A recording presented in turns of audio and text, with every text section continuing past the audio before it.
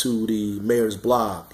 Uh, today was the first day that we begun Occupy the Schools. It was over 100 men and different schools and, and ladies and different high schools around the city of Newark, welcome our, welcoming our kids to school, but at the same time talking to them, letting them know that we care about them, we love them, we embrace them, uh, we want to direct them, mentor them, so that they don't uh, go down a trajectory that leads them to a life of, of, of crime and, and, and destituteness, but a, a life of success, of happiness, uh, of outstanding opportunities.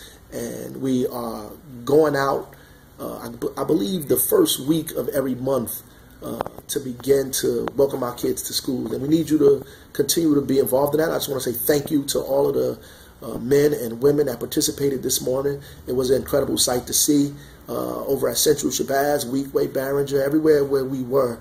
Uh, I'm sure the kids were excited, the principals were excited, uh, the community uh, is excited. We are about to take charge of our own neighborhoods, and ultimately, that's how we transform our city as we begin to take charge of our communities, take charge of our schools, our families, our neighborhoods.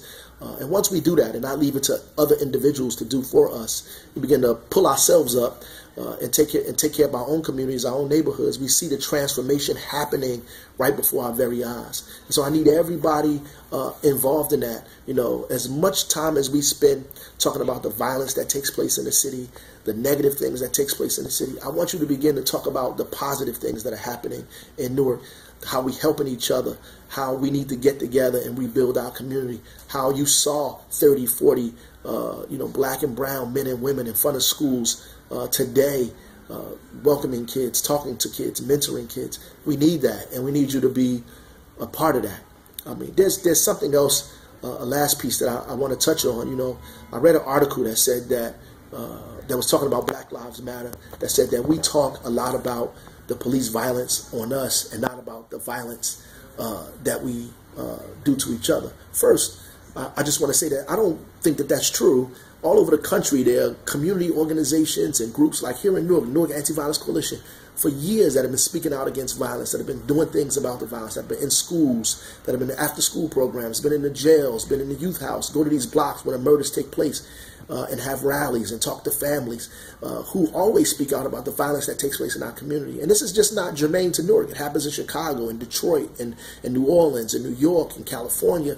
You know, these organizations uh, every single day speak out loudly against the epidemic of violence that's taking place uh, in our communities and our neighborhoods. So we let's not confuse the two. Black lives matter. Uh, we don't want anybody taking our lives, whether it be at the hands of law enforcement or at the hands of people that look like us in our communities. So all of that needs to stop. And I think a positive way to for us to begin to push in the other direction is be a part of this Occupy Schools. Be a part of Occupy City, Occupy Block. Be a part of that. Uh, the mayor, myself, me, and I, uh, with a whole bunch of other people, we are organizing uh, what's called our world tour. And we went to every high school. We went to Delaney Hall. We're going to the youth house on Wednesday, the Juvenile Detention Center. We're going to the county jail. We're going to Northern State. We're going to everywhere uh, where we are to talk to our kids about life, love, and empowerment, and not death and destruction. We need you to be a part of that. We need you to talk life into our kids and not death. We need you to raise positivity on your social media, not negativity on your social media. Don't use it as an opportunity to gossip and destroy each other. Use it as an opportunity to spread the good word and lift each other up, to promote building and and and and love and the development of our community and our city because all of us together, we are Newark. And only us as a collective can transform our city. God bless you.